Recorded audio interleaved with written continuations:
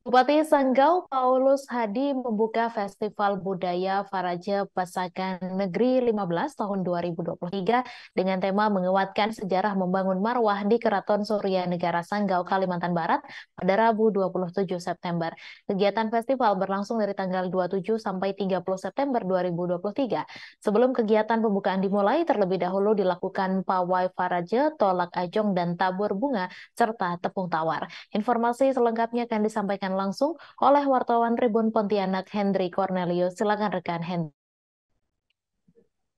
Ya, selamat sore Tribuners. Dapat kami sampaikan bahwa uh, Bupati Sanggau Paulus Hadi didampingi Wakil Bupati Sanggau Yohanes Ontot membuka Festival Budaya Paraji Pasakan Negeri ke-15 tahun 2023 dengan tema menguatkan sejarah membangun marwah di Keraton Istana Surya Negara Sanggau, Kalimantan Barat, Rabu tanggal 27 September 2023. Nah, kegiatan uh, Festival Praja ini berlangsung dari tanggal 27 sampai 30 September 2023. Dan sebelum kegiatan pembukaan uh, dimulai, terlebih dahulu dilakukan pawai paraje, tolak ajong, dan tabur bunga serta tepung tawar.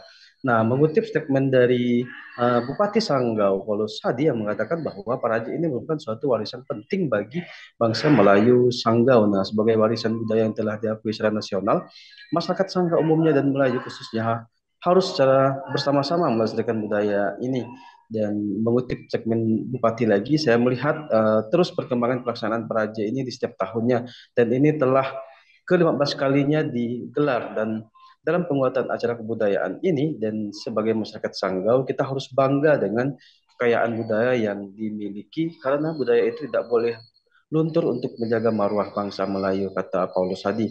Lanjut Paulus Hadi yang uh, dikatakan marwah itu memperkuat akar dari kekuatan sebuah suku bangsa dan kebersamaan.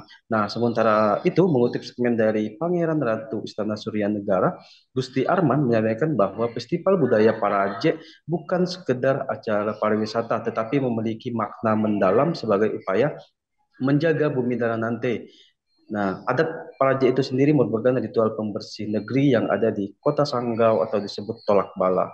Nah, uh, ini merupakan salah satu ritual adat yang kita laksanakan di Kabupaten Sanggau secara rutin, kata Gusti Arman. Nah, Gusti Arman juga mengatakan bahwa peran masyarakat Melayu, khususnya Sanggau, sangat penting untuk menjaga akar budaya ini karena Sanggau lahir dan tumbuh bersama dengan sejarahnya. Nah, dia juga mengucapkan dan terima kasih kepada seluruh masyarakat uh, Melayu Sanggau yang telah bersama-sama dengan kita merawat budaya yang merupakan sejarah bangsa Melayu. Semoga festival uh, Peraja ini tetap bertahan di bumi darah nanti dan dikembangkan oleh anak cucu kita di kemudian hari.